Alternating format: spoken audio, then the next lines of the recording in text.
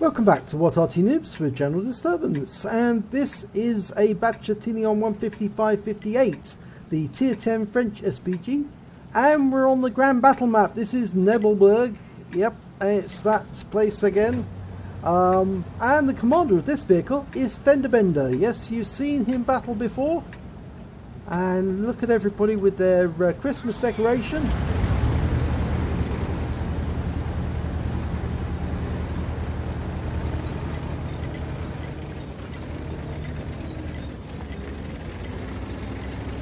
Now, FendaBenda's headed off to the back of the map, into the uh, top right hand corner, or we should say the northeast corner. Is he going climbing? Certainly looks like it. Not going all the way up, are we? Nope. But he might as well do something because this particular Arty does have rather long time to uh, reload.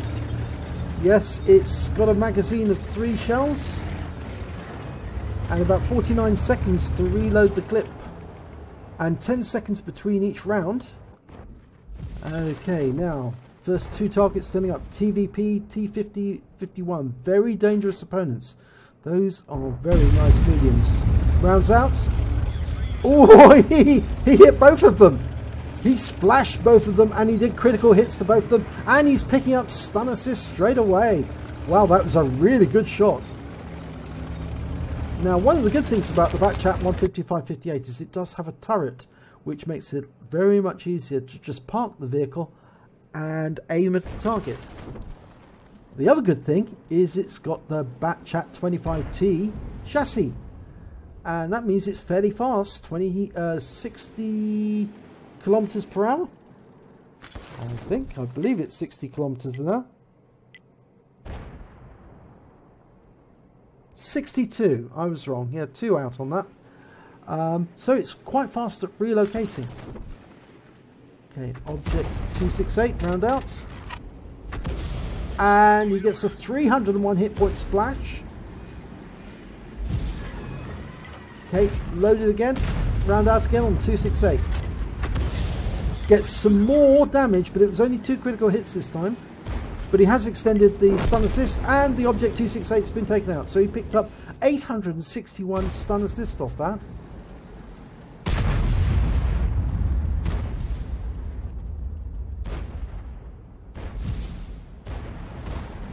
Okay, there's a whole bunch of enemy tanks all grouped together there. Very nice tempting target at the moment. T110E4, T110E5 and a 113 all together. Now, if only he's fully loaded, and that E4 regrets his decision to move ahead because he gets whacked twice very, very quickly, and he's about to get hit again because FendaBenda's ready to go. And it's a difficult shot over the edge of that rock, but he fires and he gets a hit. 103 hit points to splash. There's an E100 there. Is he going through the 113? Yes. Lining up, rounds out. 159 off the 113. Looks like it's going to go again on the 113. Uh, only one hit point this time. So he must have just caught the edge of the explosion. Oh, he's picking up some stun assist though. Because that shell went into the rear of the E100. You can see the yellow mark on the skirts. Those skirts are there to design to actually protect the tracks from high explosive rounds. It certainly looks as if that E100 has been on the receiving end of a high explosive round. Okay, 10 seconds ready to have another magazine. Okay, the shells are loading and okay, they're, they're in. Rounds out. Direct hit there. I think he got the E100. Yes, he did. Going for the uh, 113. Direct hit, 346. Good shot. Massive amount of stun on these tanks. Means he's going to pick up lots of stun assists if he can get them. Oh, another 130 off the 113. But he's now in a reload cycle again.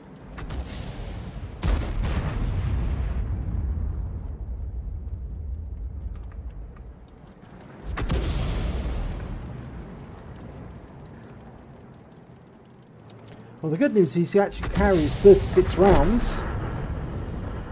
But it's just such a long time to wait between uh, the clips being loaded in. Now, they actually did build a prototype of the 155-58, but uh, unlike the 155-55, which was never built, it was just a paper tank. Lining up a shot in the 100. Rounds out. Direct hit!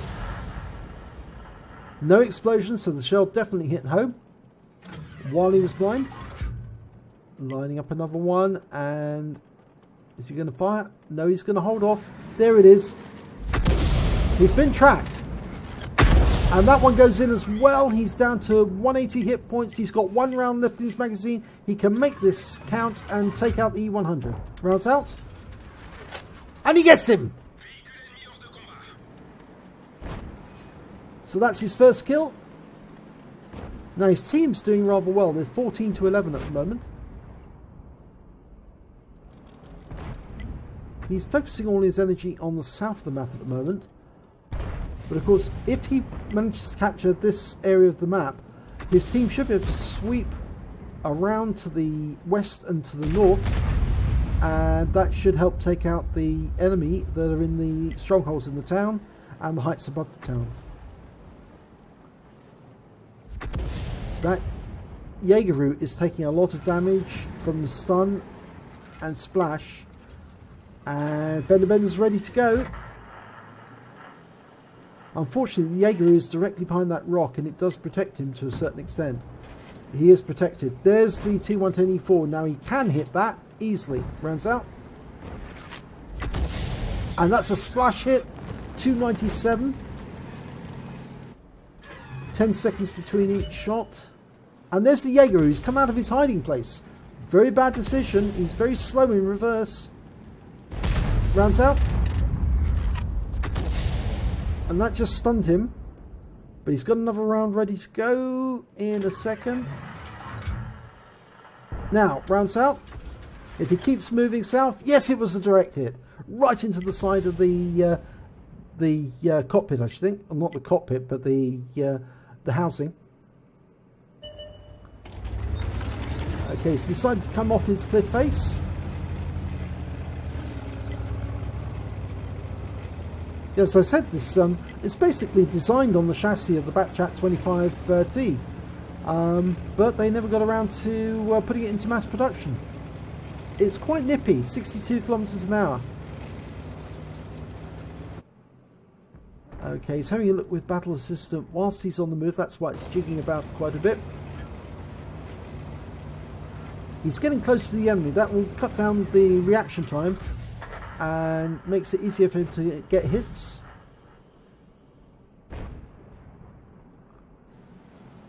And he's having a quick look to the north. Okay, stop moving now. Trying to select his next target. There's the Jaeger he hit a short while ago. We might be able to see where he hit it. Because it the monster I use will leave a little yellow stain where the where the high explosive round landed. And that's right on the front. 120 hit points right into his front. I bet you'll see a yellow mark on the uh, on the port side of that uh, Jaegeru. And there's another one now. He's knocked his tracks off. He's stationary now. Gotcha! oh, I know. Sad, isn't it? I do get a laugh when I see something like that. Terrible, really, I suppose. But there you go.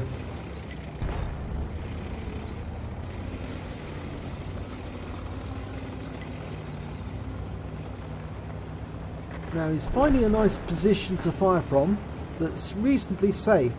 And I think he's going to go up on that hill a little. Yep, that's what he's going to do. And from there, from that elevation, he should be able to fire without any hindrances. There's a Type 5 Heavy there. Oh, that's a nice big juicy target. Now, they're difficult for enemy or team for his teammates to penetrate, but not for him. Not with a high explosive round. Rounds out. Beautifully judged, right onto the target. He led that target. He aimed the shot ahead of the target. Let the target just drive into the shot. Oh, he stopped prematurely. That one fell just ahead of him. But now he's backing away because he's fired his round and he doesn't want to get hit. But he's, I think he's tracked. He is tracked. And that's a direct hit again. 43 hit points. And he was taken out immediately afterwards, so he picks up stun assist. Right, now there are four tanks ahead at the moment. He's in reload. And he's motoring again. And he's now in enemy territory. Uh, quite a few of the tanks he'll be seeing from now on, the wrecks, are going to be enemy wrecks. Not T-Rex.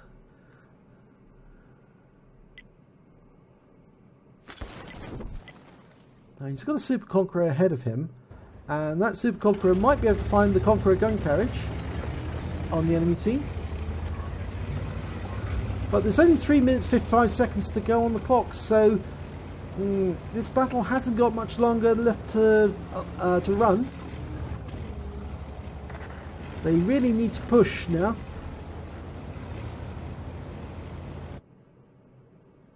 Well, Fenderbend is focusing on the island. He's still moving.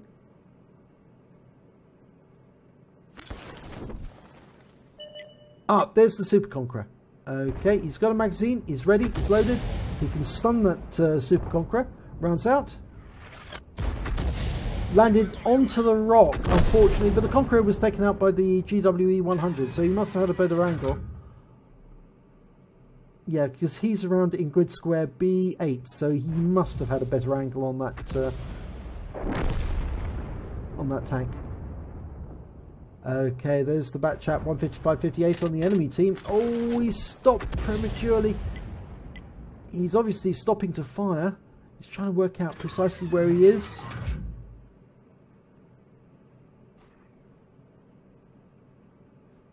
Now, I thought I heard the whoosh of a shell leaving. If so, that might be the 155.58. But there's a target he can hit in the meanwhile. T124 rounds out. He is backing into it.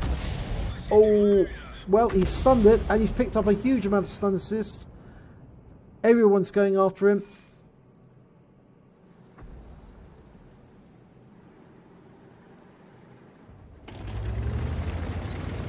Two minutes, ten seconds.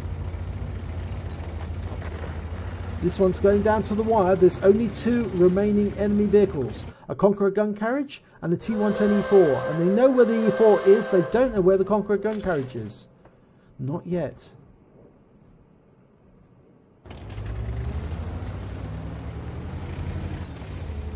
Seven seconds to reload complete.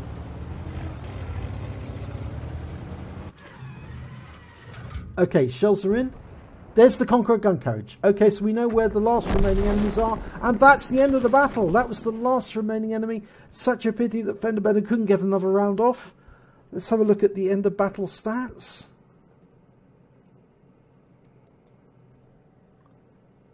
And it's an ace tanker for FendaBenda in the Bat.-Châtillon 155.58. He did more than enough work in that battle to earn an ace.